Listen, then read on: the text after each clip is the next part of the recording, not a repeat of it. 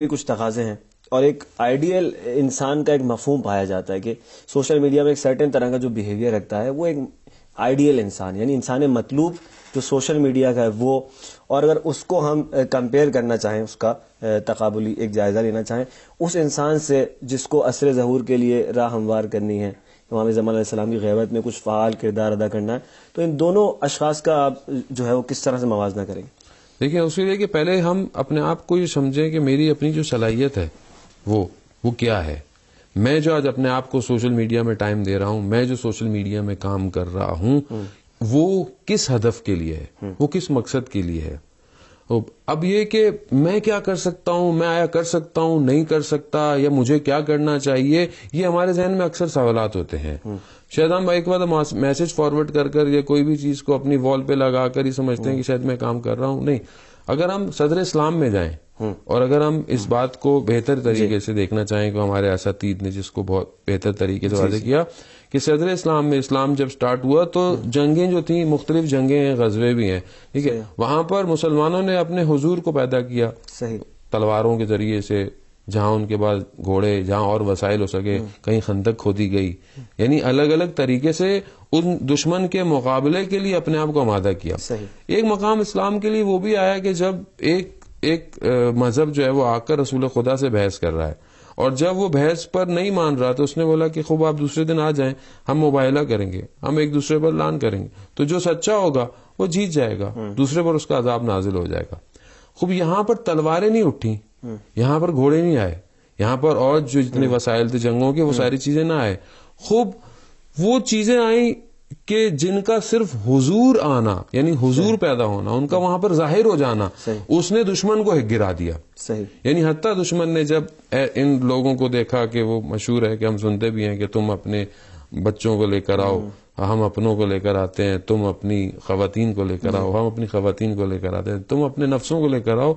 हम अपने नफ्सों को लेकर आते हैं इनके वजूद ने उस वक्त का जो इस टाइम वो सबसे बड़ा था। अगर ये मारका हल ना होता हमने असल में ईद मोबाइल को बहुत हल्का लिया।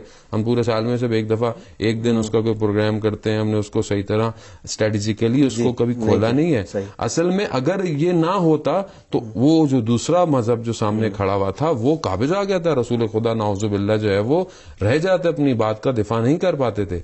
मगर इनके उस वजूद ने सिर्फ़ हम्म। यानी अब उनका हाजिर होना हम्म। हाजिर होने ने दुश्मन दुश्मन मज़बूत दुश्मन कह रहा है कि मैं तो वो देख रहा हूँ कि अगर ये इशारा करें तो पहाड़ अपनी जगहों से हट जाएँगे। यानी उनका सिर्फ़ हाजिर होना उसने उस पूरी जंग को खत्म कर दिया। अब वो जंग चाहे आप उसको कल्चरल वॉर कह लें या उसको कलामी जंग कह लें। चैलेंज तो है एक चैलेंज है वो। अब हम जो अभी कहते हैं कि अभी मैं क्या कर सकता हूँ?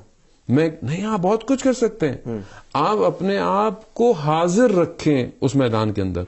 और जब आप हाजिर होंगे तो आपको जहरा सामने चीज़ें नज़र आ रही होंगी कि मैदान में तीर कहाँ से आ रहा है मैदान में बम कहाँ से आ रहा है हम्म। मैदान में कौन सी ये वो चीज़ें हैं सोशल मीडिया में जो इंसान के ऊपर जो अटैक हो रहे हैं ये वो अटैक हैं कि जो इंसान को मरी तौर पर यानी जाहिरी तौर पर नज़र नहीं आ रहे हैं हम्म। लेकिन उसकी नफ्स को उसकी रूह को उसकी शख्सियत को उसके स्ट्रक्चर को उसके फैमिली हम्म। बॉन्ड को यानी उसके पूरी चीज़ को तबाह करने के लिए मुख्तलिफ़ जाविये से हम्म। जो है वो अटैक कर रहे और वो गिर रहा है। इसी पे थोड़ी सी मजीद रोशनी डालीगा कि इंसान के बातिन के साथ सोशल मीडिया क्या कर रहा है इस वक्त?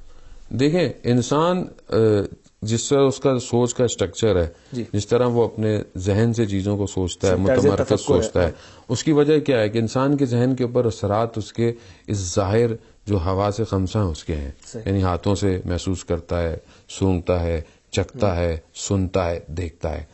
सबसे ज़्यादा इम्पैक्ट इंसान का जो इंसान के जहन के अंदर जा रहा है वो वो देखने का ज़्यादा है। देखना यानी तस्वीर। तस्वीर यानी रंग। रंग यानी रोशनी यानी कलर। वो उसके वजूद के ऊपर असर डाल रही है। एक एक फ्रेम उसके बातिन को उभार भी सकता है किसी अच्छे काम की तरफ़। वही एक फ्रेम उसकी सारी इबादतों को जायल भी कर सकता है। इमाम खुमैनी रहमतुल्लाह ने फरमाया कि एक निगाह ना महरम इंसान को सदियों के फासले पर फेंक सकती है फेंक देती है। एक निगाह। ये जो हमारे लिए आज हदूद नहीं रहा है सोशल मीडिया पे।